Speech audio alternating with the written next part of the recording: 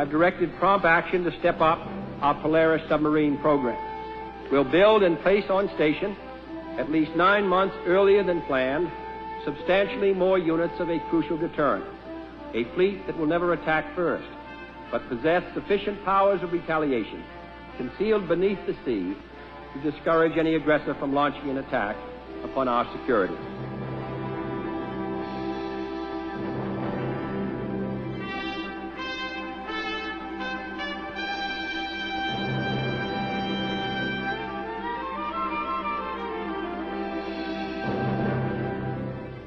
These scenes, filmed in 1962, are of the prelude to an historic weapon system test Operation Dominic.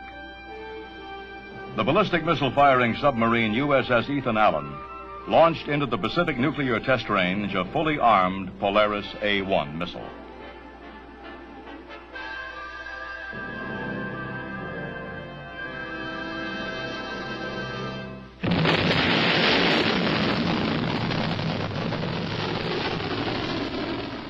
That shot, fired in 1962 from USS Ethan Allen, quite literally was heard round the world. For it fully demonstrated beyond any rational question the credibility of what President Kennedy called our crucial deterrent the Fleet Ballistic Missile Weapon System.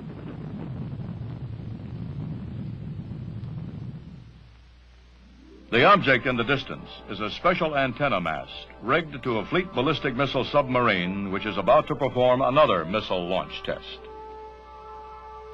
The year is 1972, and this ocean is the Atlantic, approximately 25 miles off the coast of Florida. The missile, which will be launched within minutes, is a Poseidon, the fourth generation in a series of missiles that since 1960 has solidly sustained the credibility and deterrent effectiveness of the Fleet Ballistic Missile Weapon System. 10, 9, 8, 7, 6, 5, 4, 3, 2, 1. T0. Fire. One. Listen away. One away. Roger, approaching ignition. Out.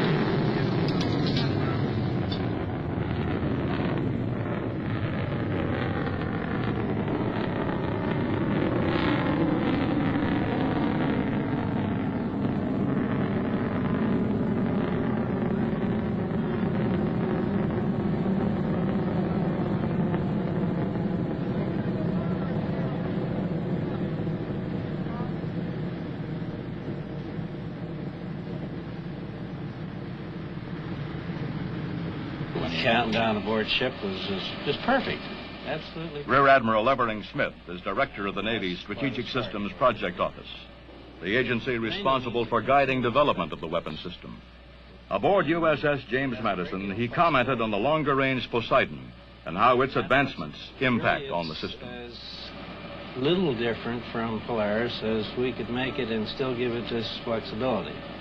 We made maximum use of uh, Polaris technology, the uh, industry practices at the time that this was, was started, and we made the minimum changes to the rest of the system. But all in all, it was making maximum use of what we had and designing it to do the job that had to be done and no more than that. The Polaris Poseidon submarines are large ships, approximately 400 feet long, 33 feet in diameter, and displacing nearly 8,000 tons. The interior spaces of the ships are divided roughly into three primary areas. Aft are the engineering compartments, together with the nuclear reactor and the steam propulsion plant that can drive the sleek hull at surprising speed. Amidships, the 16 nuclear tipped missiles, which are carried in these combination missile stowage and launching tubes.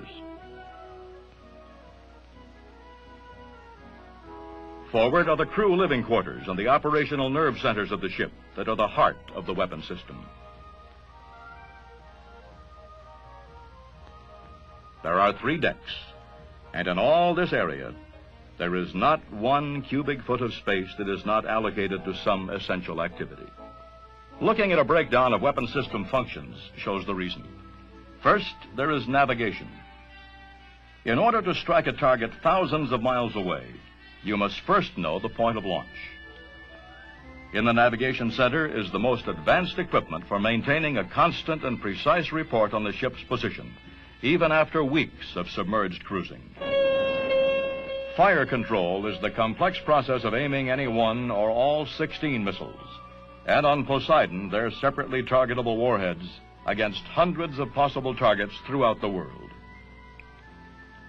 Specially designed computers combine and process target location data and ship's position data to set up a separate flight path for each missile. In effect, these cramped compartments are the equivalent of a Kennedy Space Center blockhouse. The equipment is highly accurate and extremely fast. Uh, as weapons officer, I'm responsible to the commanding officer to see that the missiles are launched properly and on time. When the captain gives his permission to fire, it indicates a green light on the captain's permission to fire uh, light on the, our panel here.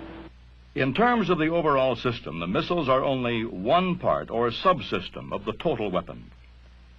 Throughout their operational life, they are kept almost constantly in a readiness state. Also down here we have uh, two pieces of miter equipment, the miter 6 and the miter 7. The miter 7 is used to test the missile out in the tube itself. Actually makes the bird think it's flying in the tube. Activates the rotatable nozzles. Bird actually think it's flying. We test it out. We know it can't fly when it leaves the tube. A complete pre-flight checkout of each missile, computer monitored, and also extremely fast. Missile firing orders can come only from the President and will be acted upon only after absolute confirmation. The command and control link to each Polaris Poseidon submarine is a worldwide communications network. To accomplish this, uh, we have two basic uh, means. Firstly, uh, there's two radio men on watch in the communications center at all time, guarding uh, pre-selected frequencies uh, in the event that we get a message at any time during the day.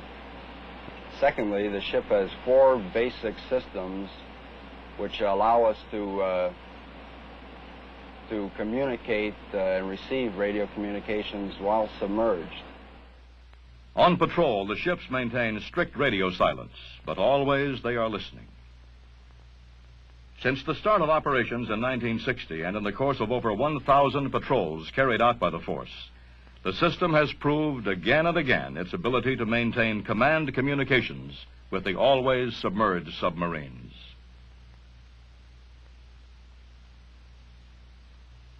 The concept of a missile launched from a submarine became a reality shortly after World War II. Regulus was the first practical outgrowth of the early development work.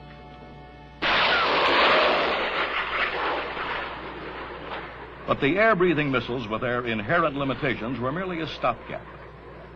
The requirement for longer range, pinpoint accuracy, and greater payload capability inevitably singled out the ballistic missile. The early 1950s saw remarkable technological breakthroughs. Atomic propulsion for submarines became a reality in January of 1955 when USS Nautilus put to sea for the first time.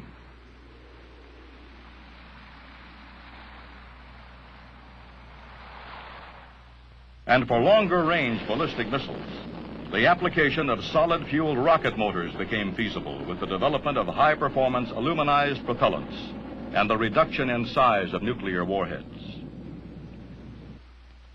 The decision to go ahead with the program was made in December of 1956. By March of 1957, as the result of a breakthrough design of a powerful solid propellant rocket motor, the now familiar shape of the Polaris missile was established. Just one year later, the first launching from a submerged tactical launcher was performed with complete success. With the design of critical system components established, shipyards on both coasts were put to work building the submarines.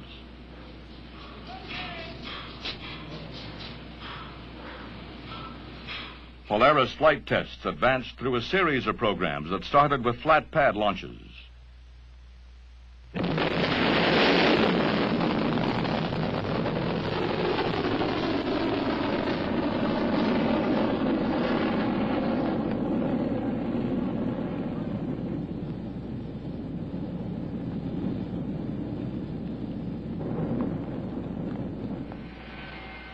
Next, a ship launch tube simulator was used to eject the missile before motor ignition.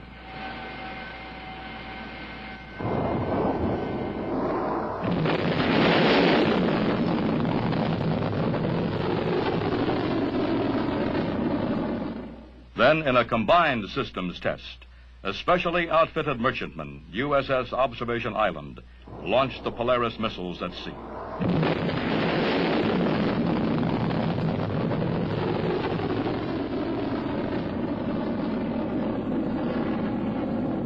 Launch from a submarine occurred on 20 July 1960, just over four years after the program was authorized.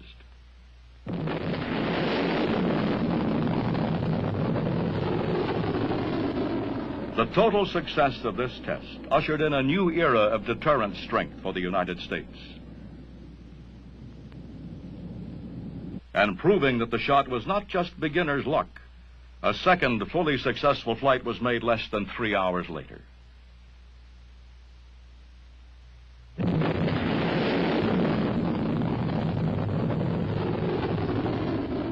Ships and missiles were not all that was required for this innovative new weapon system. Men were needed. Men by the thousands. To man the 41 submarines, each with two complete crews, 10,000 men would be needed. And there were requirements for the submarine tenders and shore support activities. Also, only the best men would do. All volunteers, ready and able to face the rigors of submarine duty. Special training complexes were built at New London, Connecticut, Charleston, South Carolina, Dam Neck, Virginia, and at Pearl Harbor, Hawaii. Shoot south 45. All right. Forget. Got it. All right, next stop will be 15. All right. Stand by. Standing by. Give me a mark. Mark it. Got it.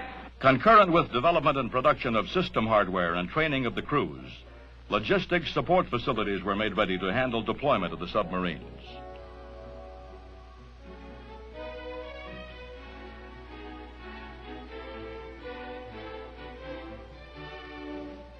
The first Polaris submarine to be deployed appropriately was USS George Washington. On 15 November 1960, she steamed seaward from Charleston Harbor. For two months, she remained on station, setting a record for submerged operation 66 days, 10 hours.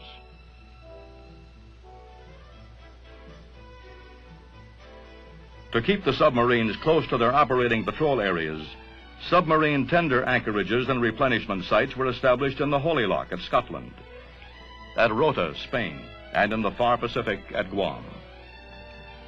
The use of tenders provides complete mobility for the squadron, eliminating the need for shore-based installations and minimizing dependence upon foreign countries.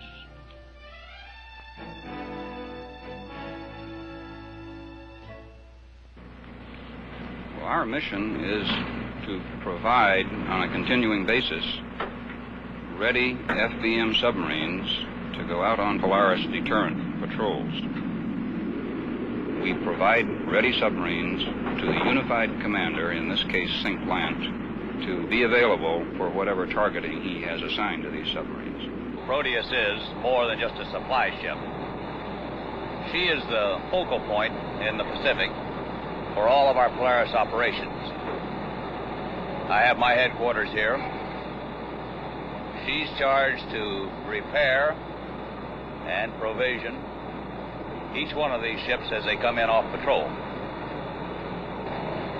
She can do almost anything that's required to get these ships ready to go back to sea. For example, she can repair any piece of equipment on the ship, from the complex weapon systems to the navigation, communications, electronics, and all the engineering aspects of each one of these submarines. Any job that needs to be accomplished on the ship can be either repaired aboard the submarine or taken up to the shops. The tender is the Thomas Jefferson's home for a third of the year. Uh, she knows our problems. We have worked with her people. Uh, we're familiar with them. Uh, we may have problems when we leave on patrol that we leave with her uh, for solution when we get back. At this site, we have supported every class of missile and every class of Polaris submarine.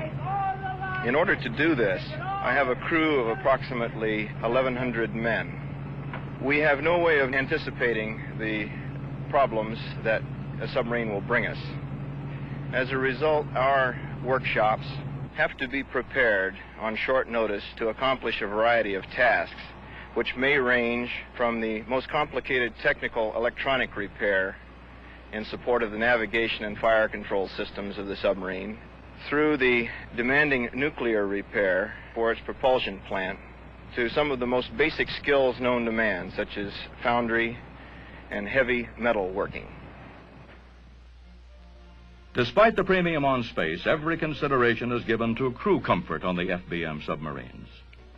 Classroom, theater, church, and common room are made of the multipurpose mess hall. And the food is honestly deserving of the title Best in the Navy. It's an open mess. Help yourself whenever you're hungry. Or help the cook if you've got a favorite recipe.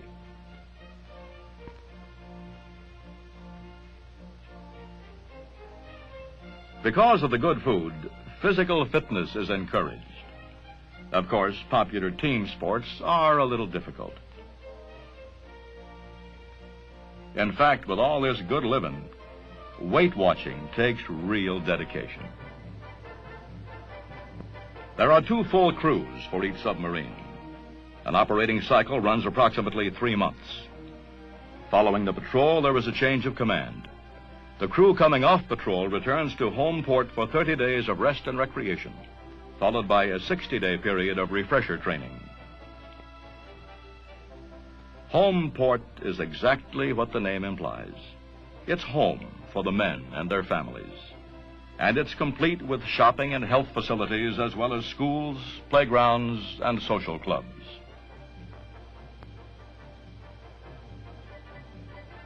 During refresher training, the men hone their skills. Exact duplicates of shipboard systems are set up in these laboratory classrooms. When they go to sea, their performance must be letter perfect. That's a key factor of total weapon system reliability. Upon returning to their ship, the crew will spend roughly a month preparing the sub and the new crewmen for the next patrol. With each cruise cycle, there is approximately a 25% crew replacement. But when they deploy to the patrol area, the men, the ship, and every element of the weapon system will be 100%. Throughout the entire period of their two months submerged operation, the reliability of the system and its readiness to fulfill its deterrent mission will be their responsibility. Operation of the weapon system on patrol is totally Navy, with no recourse to civilian support activities.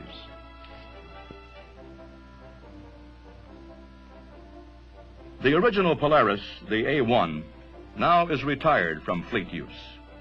Its early and successful development, however, put the weapon system on station a full three years ahead of even the most optimistic schedules. By mid-year 1962, it was being replaced by the 1,500 mile range Polaris A2. Deployment of the Polaris A3 in 1964 added a totally new dimension to the deterrent capability of the system. To explain what that means, for a given target, perhaps a thousand miles inland, submarines carrying the initial Polaris A-1 with a 1,200-mile range had less than 700,000 square miles of ocean in which to operate. Outfitted with either the 2,800-mile range Polaris A-3 or the Poseidon C-3 missile, that same ship has two to three million square miles of ocean in which to operate. An increase in sea room that compounds enormously the anti-submarine warfare problems of detecting and tracking these submarines. November 1960 marked the deployment of the first Fleet ballistic missile submarine. The deterrent strength of its 16 missiles equaled all the bombs dropped during World War II. In the years since, the strength of this crucial deterrent has grown to 41 submarines, carrying 656 missiles. On 18 May 1972, the 1000th Polaris Poseidon patrol was completed by USS John C. Calhoun, operating with Submarine Squadron 14 from Holy Loch, Scotland. 1,000 patrols. 1,000 examples of system efficiency.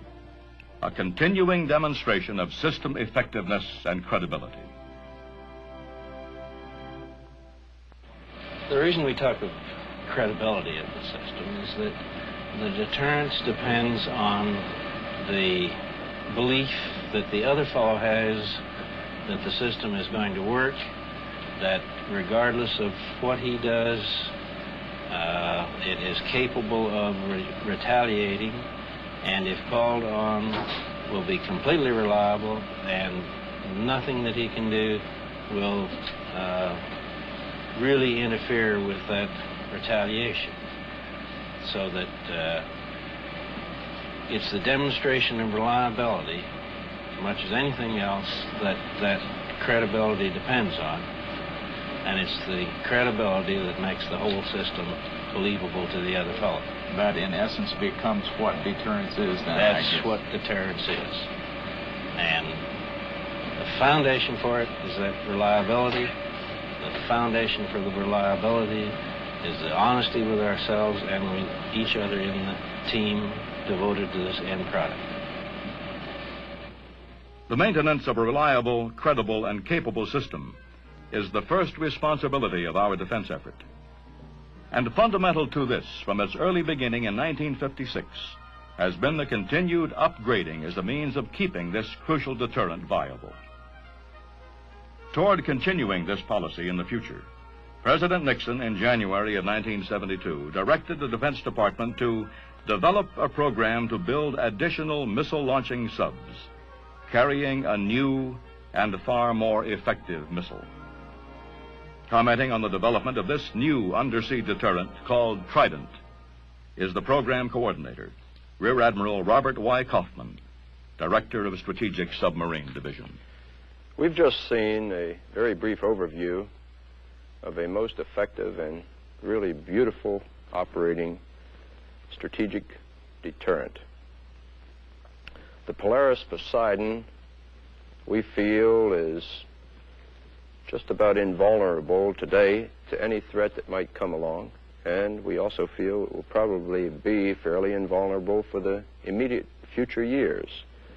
However, with technology advancing as it is today, we must have some qualms about the ability of an existing system, which was really built with a lot of technology of the 50s, to maintain that state of survivability, high state of survivability, and invulnerability which we need in this sea-based system.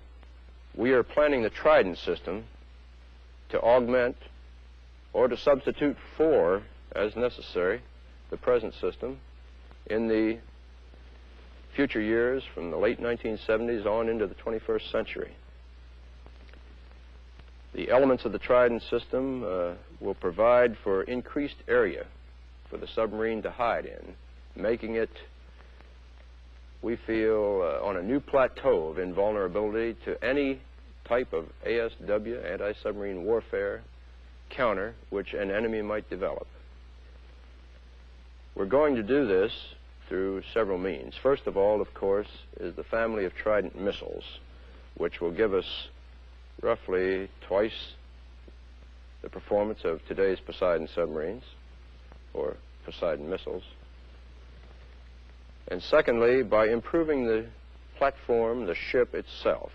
By the time the first Trident submarine can come off the line, our present submarines will be at an advanced age, roughly 20 years for the oldest ones. And it would be very prudent to assume that they can't go on with trouble-free operation much beyond that point. Uh, however, we're trying very hard to prolong their lives beyond that point. The new submarine itself will be made quieter. It will have greater power to give it better mobility so that it can use the very great expanse of ocean made available to this submarine while targeting whatever enemy we may have.